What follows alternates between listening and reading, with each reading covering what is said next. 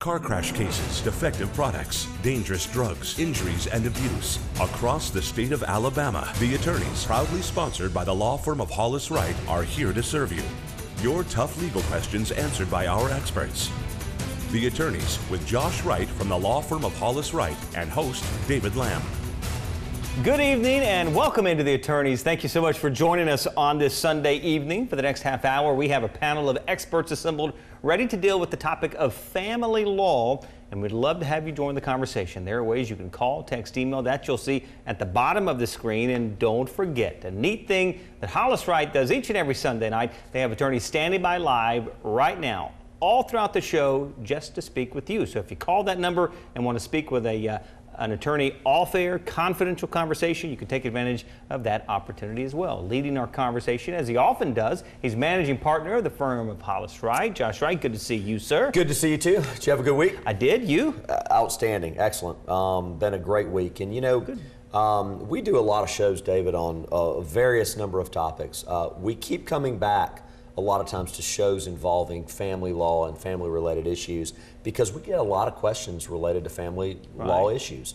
And so tonight we're going to put a different spin on a show we've done in the past Good. related to family law, and we're going to be probably a little bit more heavy on uh, some specific topics that we hadn't really covered in the past. Um, we're super lucky uh, tonight because we've got Sara Tower uh, on with us uh, with the Stover Law Firm. Um, uh, here in town, and um, we're going to be talking about family law related issues. Now, this is the first time you've been on the show. This is. All right. You mentioned earlier you could be nervous, but I know well, you're not. But, but, I know you're not going to be because here's great. the best part: you're the expert, and we're, Yeah. we're really just listening to you because you know so much about this topic. Let's let's let's first jump off this way.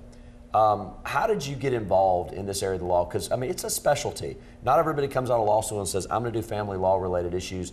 You know, because you got to have an emotional side to deal with clients, but you also have to have the legal knowledge to be able to lead, guide, and direct them. How'd you get into this area of the law? Well, um, originally I was first licensed in Michigan, and the law firm that I worked at, they did family law practice and criminal defense. So I kind of started in the criminal defense realm, and it kind of pulled me into the family laws. It kind of, you know, intertwines with each other. So I kind of stuck with the family law when I moved down here to Alabama. And so, are, you mentioned Michigan. Uh, you were licensed there and practiced there uh, in Plymouth or outside Detroit? Yeah, Okay. Plymouth, Michigan, and I went to law school in Ann Arbor. Okay. So, um, are the laws in Michigan from a family law perspective all that different than Alabama, or kind of the concepts the same? The concept, I'd say, is pretty much the same. I mean, procedurally, there's just a couple things that are a bit different, but I guess overall, I'd say it's pretty Okay. much the same. Do you specialize in one area of family law, for example, uh, you know, whether it's divorce, child custody, or do you kind of cover the gamut? I cover both. Gotcha. Yeah, I don't do anything like adoptions or whatnot, but Okay. just child custody, modifications, or Okay. contested, uncontested divorces. All right, so let's address this issue because we will get this question immediately, and that's this. There has been a change in circumstance, and I don't make the same income that I used to make, and I'm paying X in al- or child support. Um, can I get a modification uh, because there's been a change in circumstance or a lost job? How does that process work? I didn't. Um, Yeah, I mean, like for example, if if my income changed and I'm supposed to, for example, have you know I'm paying twelve hundred dollars a month for you know some form of child support itself, uh, and I my income changes and I have a significant reduction. Um, can I go back to the court and get a modification? How does that process kind of work? Yes, you can. Okay. So, yeah, it's your responsibility so if your income does change that you have to file a petition with the court in order to, you know, notify them that your income has changed so that that way you can have your uh, child support amount that you're paying deducted. So a lot of people, I think, have this concept that if something's changed, I can do this on my own and just not pay as much as I used to. I mean, you have to go through the court. You have to, yeah. Because once the court sets up those those custody and child support requirements, you've got to kind of follow that. You do. All right. Um, you know, it's interesting when th- there are always changes in the law and, and, and things that uh, are, you know, can be adjusted. But once you have a final order from a court related to child support, uh, you got to follow that unless you get the court to go change it, Right. which is interesting. We love getting questions from folks. The question we've got here is there a specific age where a child can decide what parent to live with? Uh, not in Alabama, there isn't a designated age. Um, though there isn't, a judge will take into account where a child prefers to live. Um, it depends on the age of the child and the maturity. Um, if a court finds that the child's preference isn't in their best interest, um, they won't respect the request and, and follow what they believe to be the best interest of the, will, of the child. Will a court try and um, have a dialogue and conversation with children as young as six, seven, eight, nine? I mean, have you seen that in court where the judge may sit down and talk with them individually? I mean, how does that work? Because I always Yes. wonder, you know, and like when a child becomes 16, 17, they're a lot more capable of vocalizing what they want to do and what they don't want to do. I mean, courts prefer not to include a child into the actual, you know, custody disagreement, um, if there is one, try to keep them away from the courts. But if there is a circumstance where they do need to talk to the child, the judge will talk to them one on one.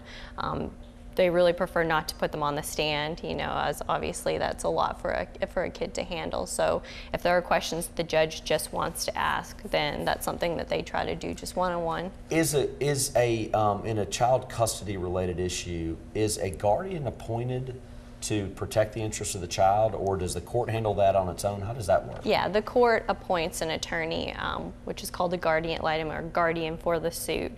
Uh, they do that to protect what's the best interest of the child, so that way that the guardian ad litem will do an independent and thorough investigation uh, to see what's, you know, to protect the child's interests and to advocate on that child's behalf in case that there's some sort of custody dispute, uh, dis- there's a dependency issue, or termination of parental rights. All right, so child support, how does that process work? Because we, we get this question a lot too when we do shows like this. Is it based on some code section? I mean, is there a schedule that applies? I'm not asking for actual dollar amounts and maximums and minimums. I guess I'm just asking in general terms. How, how does how does the court how is the court guided in that issue? Um, it's usually based on the uh, spouse's income, so just to see if there's a discrepancy in that and the amount that the child spends with each parent. So if there's one, the child spending more time with one parent than the other, then the one that's you know maybe not the primary custodian um, is going to have to you know to balance out the incomes is going to have to pay some sort of child support. And I So guess, uh, it's not really a plug-in kind of formula. It kind of you know is discretionary. And do both parents, um, is their income taken into consideration for purposes of child support? I mean, it's like a mother and father, both uh, parents have their child support or their responsibility. Um, whoever's going to end up paying child support is the parent uh, income from both sides taken into consideration? Yes, because Okay. you know it's not always that everyone thinks it just because you know the father can be more of I guess the unquote unquote breadwinner.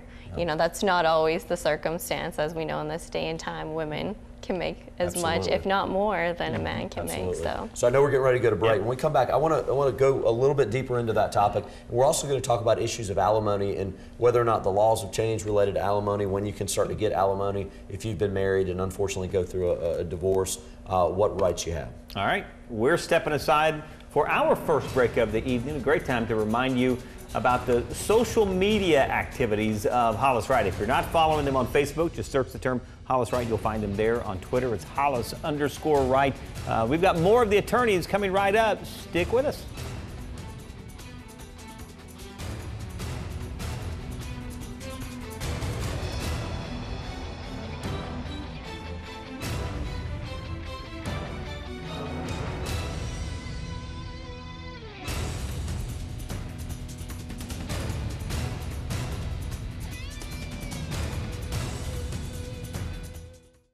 I'm Josh Wright with the law firm of Hollis Wright, a personal injury law firm. Thank you for watching The Attorneys. Now, we hope you, a friend, or a loved one never needs legal counsel for a case. But if you do, the goal of the show is simple provide answers and legal counsel when you need it the most.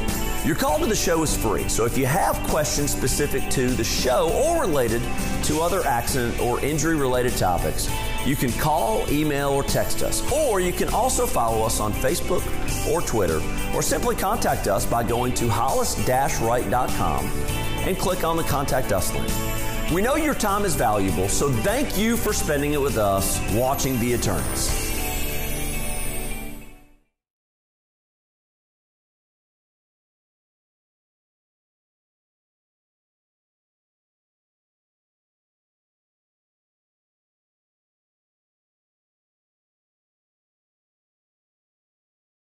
よし。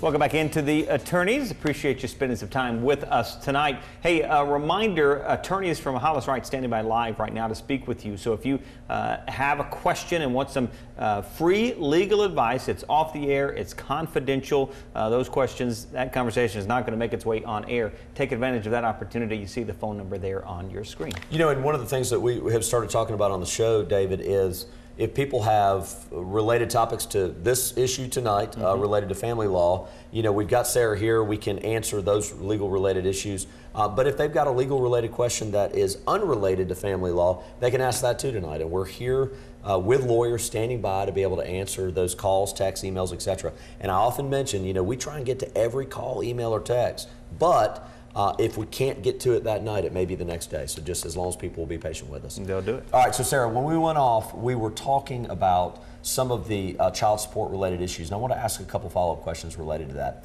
One relates to, in a child support context, um, if uh, there has been a modification, um, can the parents kind of agree with one another on what that modification should look like um, and then submit a consent order to the judge for evaluation, and can they sign off on that? Yes. Okay. Um, it would just, I mean, if you already have a settlement agreement in place and you want to make an amendment, so you would just put the, you know, um, consented agreement to the uh, to the court, and Okay. they'll most likely accept it unless they find that there's an issue or something that should be addressed. Then then they'll notify the parties. And so I'm assuming the court is probably looking at the guidelines that are required for um, uh, where um, uh, someone's payment should be to make sure that it's consistent with the guidelines? Yes. Okay. I mean, there's no exact formula, but just kind of depends on the parenting time, overnights, who the primary custodian is, and the uh, each of the spouse's income. We talked about a little bit about modification for income changes. How about modification of custody? For example, a parent had to go get help and get assistance somewhere, they got that. Can there be an application made for custody changes too, where we go from rather than sole custody to joint related custody, where both parents have a little bit more involvement? Yeah, there has to be a change in circumstances in order for that to happen. And so I'm assuming the court evaluates that on its face no different than what they would with changed circumstances from an income perspective, et cetera. Yes. Okay.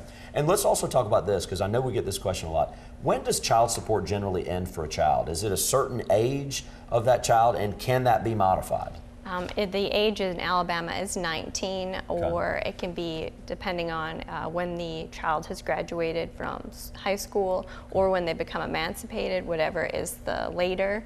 Um, but it is the responsibility of the parent who is paying for that child support to file that modification to stop paying. Because if you don't file it, you're going to have to continue paying until you do something about it. All right, so that's important. Let, let- go back through that because I, I do think that's important. As it relates to once the child turns 19, the obligation doesn't end unless you go and ask for a modification. That is correct. You'd have to file a petition to modify. That's a, I mean, that's pretty significant. It 'cause is. Some people may not actually realize that. So you get good free advice on this show. How right? about that? Yeah. Um, talk to me too, real quickly, about college. I, I feel like there's been maybe a change in the way that's worked over the years.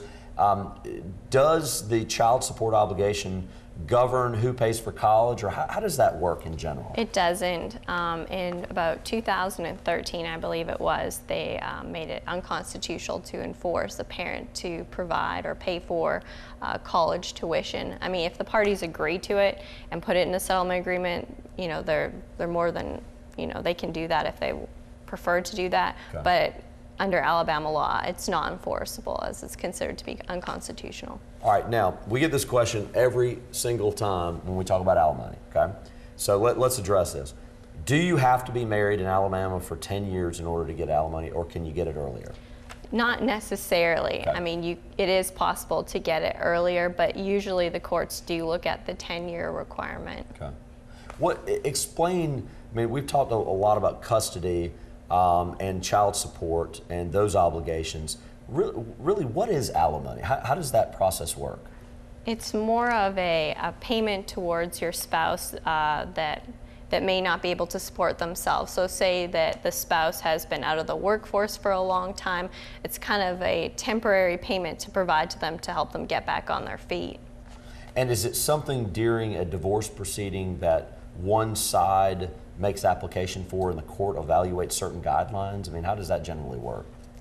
Yeah, I mean, most of the time when any kind of divorce proceeding, whether you've been married two years or 20 years, usually there is the, the, the topic of alimony does come into play, and, and some parties are more than happy to pay it, and obviously some are not yeah. so much. So it kind of just depends on that person. Um, I think it was effective January 1st. They've Alabama's kind of switching to the majority of states going to what's called rehabilitative payments, okay. kind of steering away from that long-term or lifelong alimony payment and uh, it's more for a max of five years that they're that they're trying to do. Um, that rehabilitative payment again is just to help that spouse who's been out of the workforce um, get back on their feet and you know get back into the job market. But that's not always an option, so it just kind of depends. Because mm-hmm. if somebody's been married for 20 years and never worked, they're not really considered to be rehabilitative. Right. Gotcha. Okay. Uh, question we've got here, and the best questions always come from you all. A question we've got: What has changed regarding the treatment of retirement accounts? Well, uh, effective, I think it was January 1st, um, the retirement account, there was a requirement of they had to be married for 10 years in order to share into uh, one of the spouse's retirement accounts. They have eliminated that requirement, so it kind of gives more uh, discretion to the courts on the apportionment of those retirement accounts for the spouses to share upon. So now you don't have to be married for 10 years in order to share? No. Is there, is there some uh, requirement, like it has to be two years, five years, or is it within the discretion it's of the court? Just completely in the discretion of the court. Okay. So. And and so uh, one of the things you mentioned before, and I know we're getting ready to go to break, but let me just ask one more question quickly. You know, you, we've juxtaposed, if you will, a little bit about Michigan law and Alabama, how there are some similarities and some differences. Uh, as it relates to alimony, you said um, that Alabama is starting to go to more of the majority states. Was Michigan more like where where uh, the alimony issue is going with Alabama? Yeah, it was okay. definitely. It, there wasn't this. Uh, more push towards getting alimony in uh, Alabama, or sorry, up in Michigan. Michigan. Um, it was more the rehabilitative payments of kind of doing like a max of five years. So interesting, and that's new. I mean, that's that's coming in 2018. So uh, when we come back, let's talk a little bit more about kind of some of these issues related to family law. It's it's it's good stuff. Uh, we're coming back. Our final break of the evening is right here. Reminder uh, for you of how you can get in touch with us. We'd love to hear from you. Stay tuned. The final segment of the attorney is coming right up.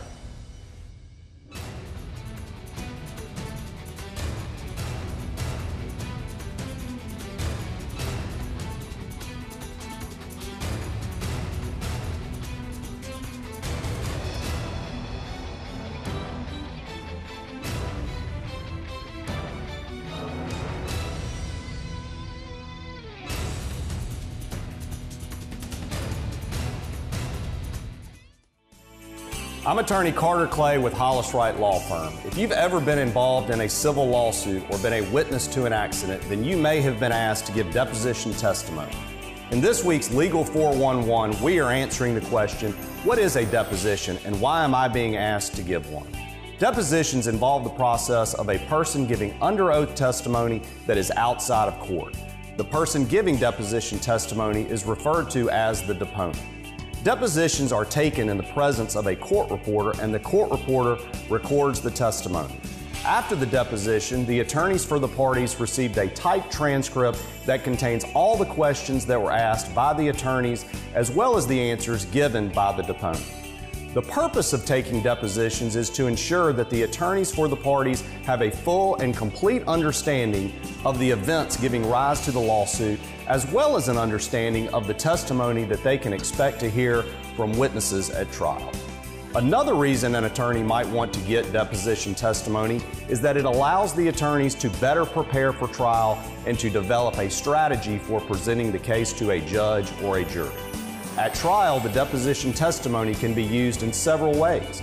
First, if a witness on the stand deviates from the deposition testimony, an attorney can use the deposition to impeach the witness. Also, if a witness forgets certain facts or events, the deposition can be used to refresh the witness's recollection. Finally, in some instances, when a witness simply cannot attend trial, the trial judge has the authority to allow the deposition testimony to be read to the jury. If you are a party to a lawsuit and are requested to give deposition testimony, your attorney will likely spend a significant amount of time preparing you for the deposition process to put you at ease and make you feel comfortable. Please remember your call, email, or text to the attorneys is free. All of us at Hollis Wright want to help answer your questions on real issues you face. Remember, a competent lawyer will respond to every question you send in. That's our pledge and promise to you. Thanks for watching The Attorneys on WVTM 13.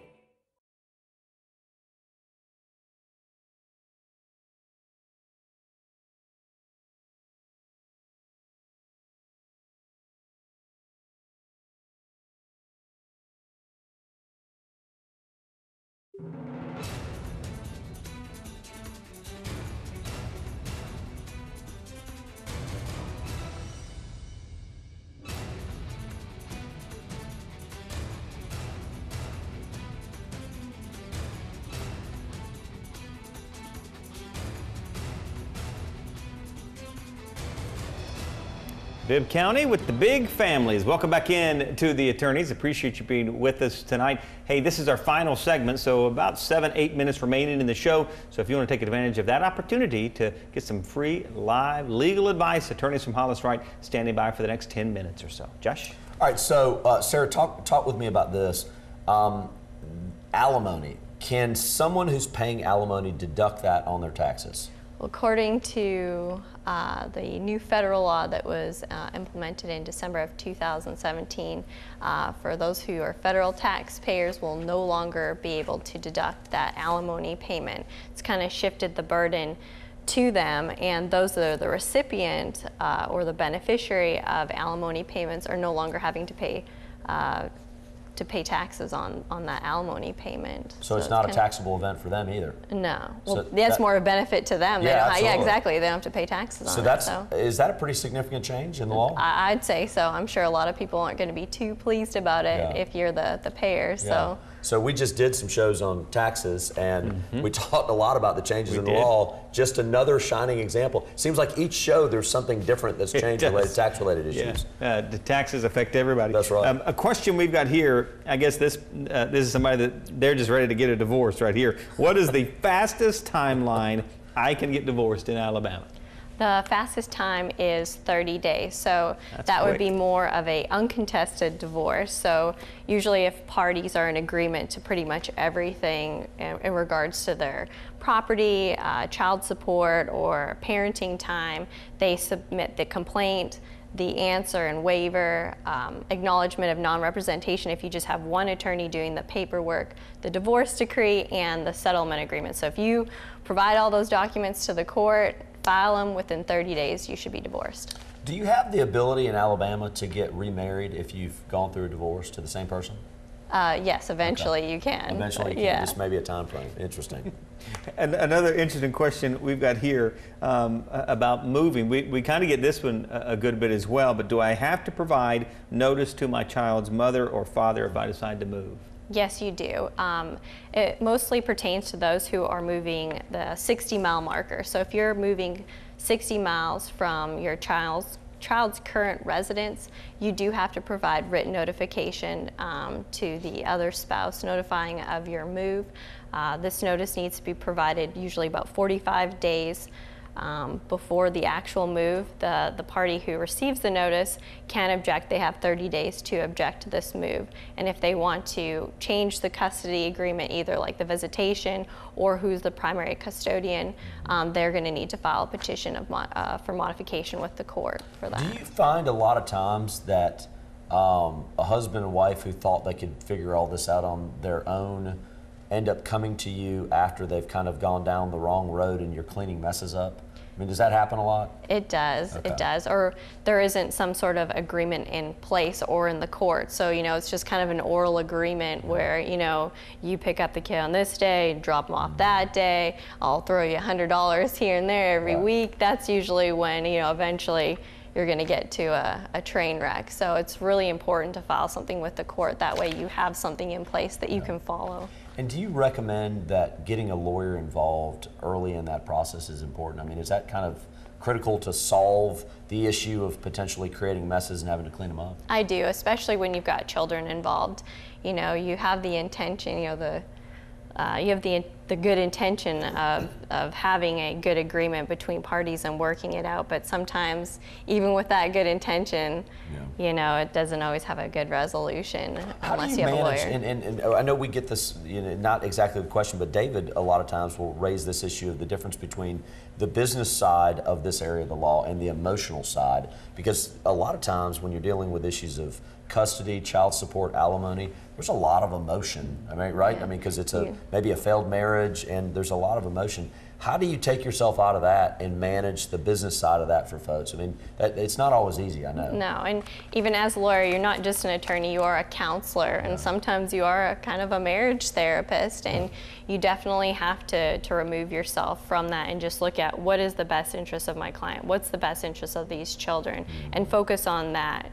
So by, by, by being able to remove yourself from that and just seeing it, I guess, more on paper. I know how cold that sounds. Yeah. Yeah. It really is in the best interest of the parties if you if you can yeah. be an attorney in that. I guess have that perspective. Well, and sometimes I explain to clients. I know we're getting ready to wrap up, but sometimes I explain to clients, you know, on the personal injury side that you know my responsibility is to manage the business side of the lawsuit. The emotion will come when we go try that case, right. but right now we're going to manage the business side, and a lot of that is what Sara's dealing with. Yeah. Uh, just a couple of minutes remaining, just about out of time, but just enough time for a final thought from both of you. And Sara, if you would, you, you go first. Your final thought for our viewers.